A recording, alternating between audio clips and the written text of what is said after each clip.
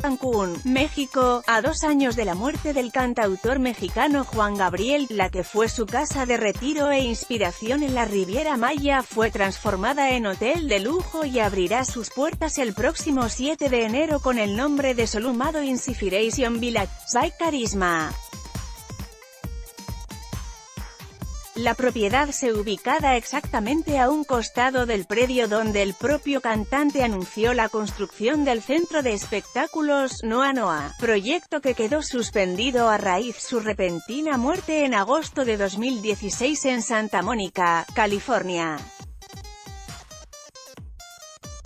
La ubicación de la casa del artista siempre se mantuvo en secreto y aunque él mismo hablaba de su vivienda en la Riviera Maya y efectuaba constantes actividades sociales en Cancún, como la donación de una ambulancia a la Cruz Roja y conciertos a beneficio, no habían trascendido detalles de su ubicación.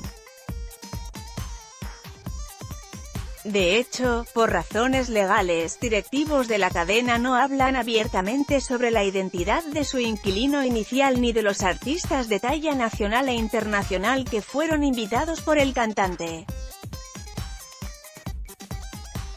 Aunque en la propiedad no hay fotografías ni referencias a su anterior inquilino, la esencia del que es considerado como uno de los compositores más grandes de México está presente en cada rincón.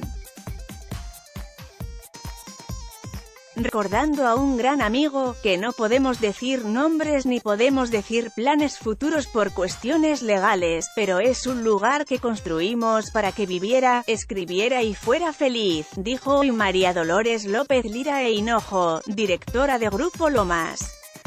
Foto, AFP La Casa Solumado, bautizada así por el propio cantautor en honor a los dueños de la cadena hotelera José Luis Martínez y María Dolores, abrirá sus puertas formalmente el próximo 7 de enero bajo el concepto de Hotel Boutique. En cada uno de sus rincones se pueden apreciar los detalles que dejó plasmados el famoso artista y que hablan no solo de su amor por su natal estado de Michoacán y por la artesanía mexicana sino también de la etapa personal en la que se encontraba, pues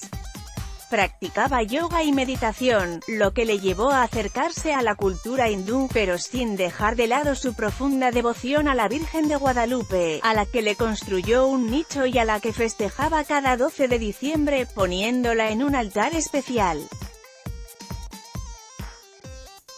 La propiedad cuenta actualmente con 41 villas, de las cuales solo 9 corresponden a la etapa inicial y a la casa donde vivía el cantante, el resto fueron construidas recientemente, con las características propias de un hotel de lujo.